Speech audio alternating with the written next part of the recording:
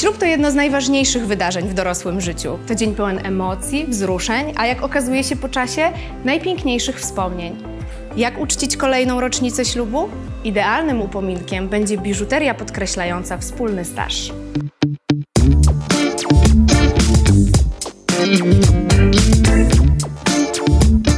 Kobiety kochają buty, kochają torebki, kochają również diamenty. O ile to pierwsze i drugie kupujemy sobie same, o tyle w przypadku diamentów, moi drodzy panowie, czas na Was. Agata ma przepiękny naszyjnik, to jest perła połączona ze złotem oraz diamentami. Na ręce pięknie mieni jej się rubin w połączeniu również z diamentem. Rocznica jest takim czasem, żeby rzeczywiście podkreślić miłość do piękna. Ja mam królewskie kamienie, szafiry w pięknej obudowie diamentowej, również ładne kolczyki do kompletu. Także moi drodzy panowie, w tą rocznicę nie oszczędzamy.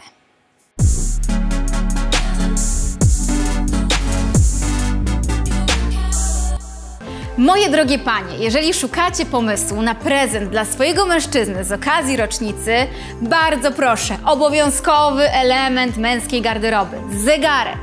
Ja uwielbiam spersonalizowane prezenty, dlatego na zegarku możecie umieścić grawerunek. Każda rocznica ślubu jest wyjątkowa, ale są takie rocznice, które wymagają dodatkowej, większej oprawy.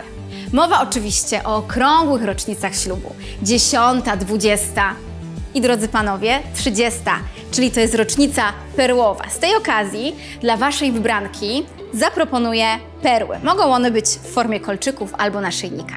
45. rocznica ślubu wymaga królewskich szafirów.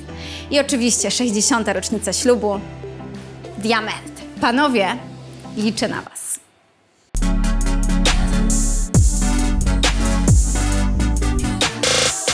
Wybierając prezent na rocznicę ślubu warto kierować się nazwami, bo nie są one przypadkowe.